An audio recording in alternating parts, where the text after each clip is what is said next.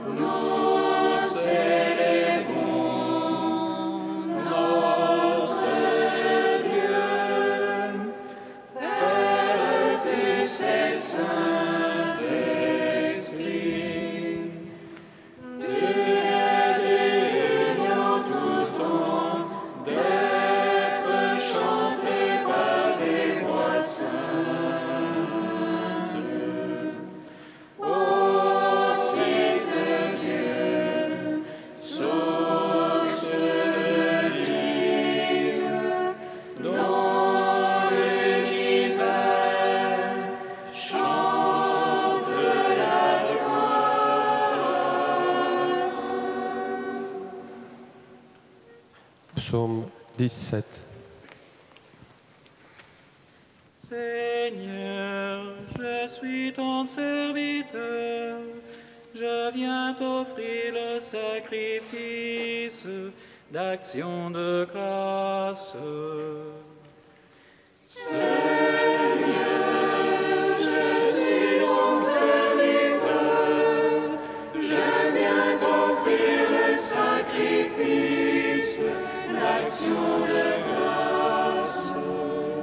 Je t'aime, Seigneur, ma force, mon sauveur, tu m'as sauvé de la violence.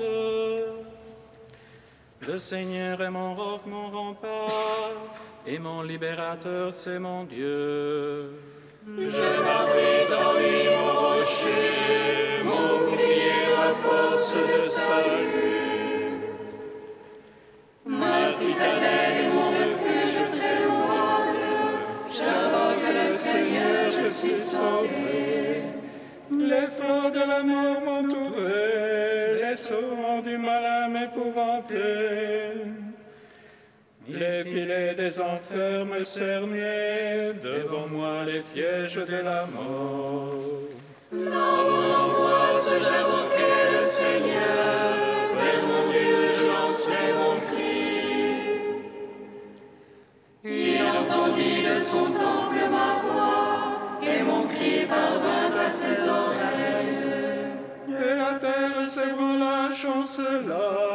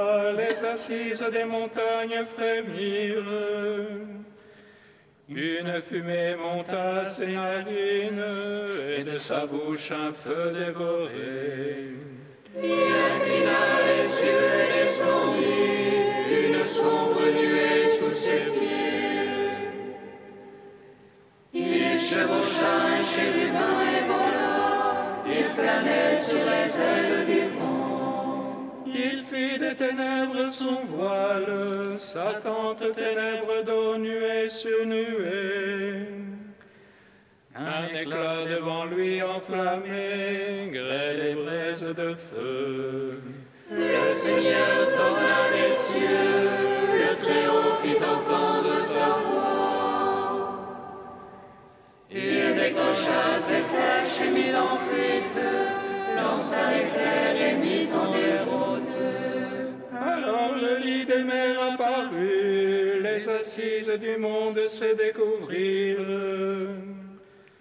Au grondement de ta menace, Seigneur, au vent du souffle de tes narines.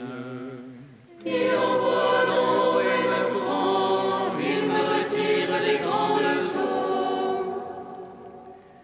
Il me délivre rival puissant, l'ennemi plus fort que moi. Ils m'assaillirent au jour de mon malheur, mais le Seigneur fut pour moi un appui. Lui m'a dégagé, mis au large, il m'a sauvé car il m'aime. Rendons gloire au Père Tout-Puissant, à son Fils Jésus-Christ le Seigneur. À l'Esprit qui habite en nos cœurs, pour les siècles des siècles. Amen.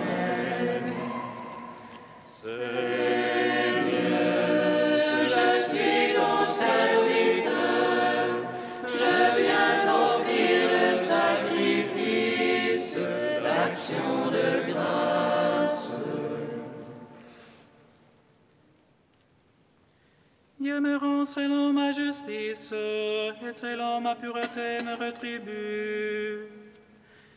Car j'ai gardé les voies du Seigneur, sans faillir loin de mon Dieu.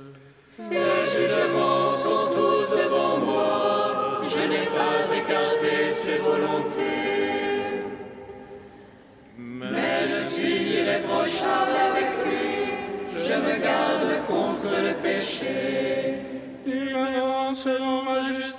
Ma pureté qu'il voit de ses yeux. Tu es un ami avec l'ami, sans reproche avec l'homme sans reproche. Pur avec qui est pur, méprisante avec le fourbe. Toi qui sauves le peuple des âmes et rabaisse les yeux. C'est toi ma lampe, Seigneur, mon Dieu éclaire ma ténèbre. Avec toi je force l'enceinte, avec mon Dieu je saute la muraille. Dieu, sa voix est sans reproche, et la parole du Seigneur sans alliage.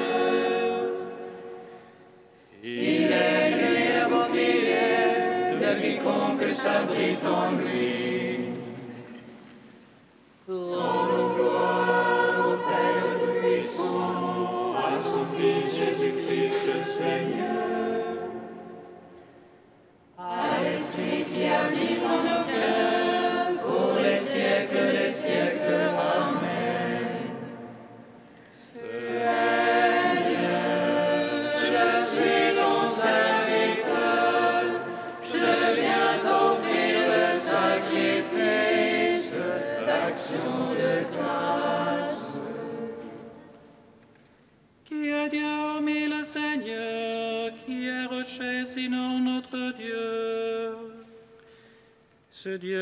Dieu qui me scinde de force et rend ma voie irréprochable.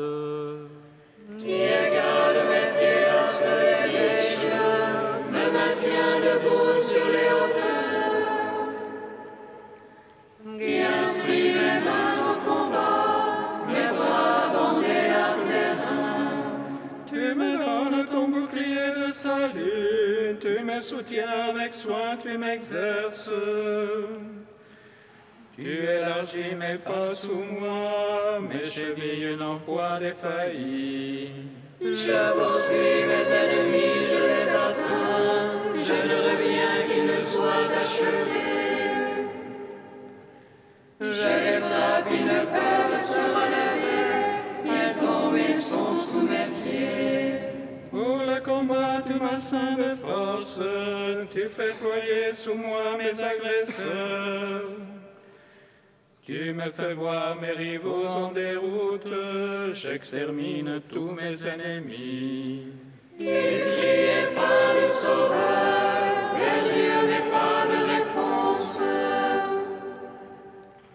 Je les broie comme poussière au vent, je les foule comme la boue des ruelles. Tu me délivres d'un peuple en révolte, tu me mets à la tête des nations. Le peuple que j'ignorais m'est asservi, les fils étrangers me font leur cours. Vive Dieu, béni soit mon rocher, exalté le Dieu de mon salut.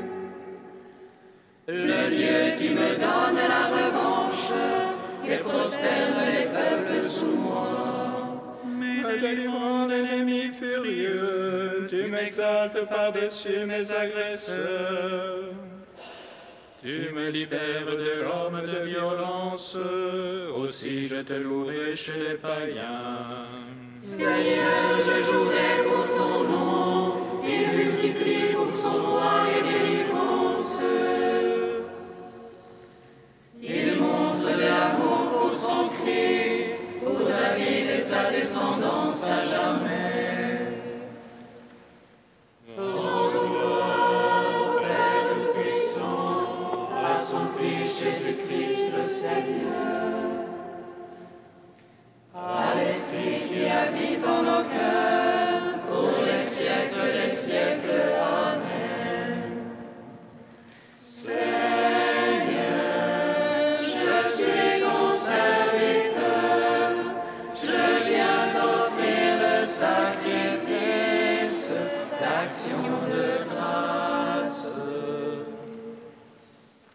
Cantique de l'Apocalypse, page 338.